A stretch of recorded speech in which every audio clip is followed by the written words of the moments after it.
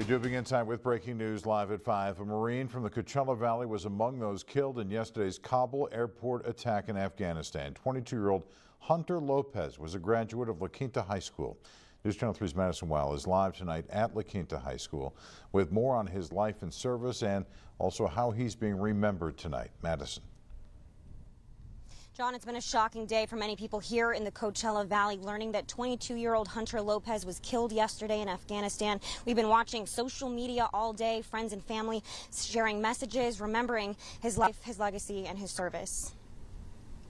One of the Coachella Valley's own, 22-year-old Hunter Lopez, one of 13 U.S. service members killed in Thursday's suicide bombing at the Kabul airport in Afghanistan a beloved member of the community. Riverside County Sheriff Chad Bianco sharing that Lopez is the son of two department members, Captain Herman Lopez and Deputy Alicia Lopez. He joined the Marine Corps in 2017 and had plans to become a deputy after returning home from his deployment. The Sheriff's Association releasing a statement reading in part We are heartbroken to hear this sad news about Hunter, who chose to follow a life of service, selflessness, courage, and sacrifice like his parents.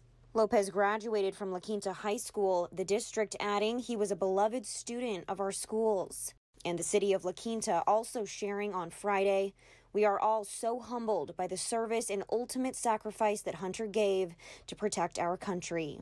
He was a brave and selfless soldier who answered the call to be a United States Marine. Like his parents, Hunter wanted to help serve others and protect his community. A life lost too soon, and a Coachella Valley hero never forgotten. The Riverside County Sheriff's Association has started a fund if you'd like to make a donation and contribute to the Lopez family.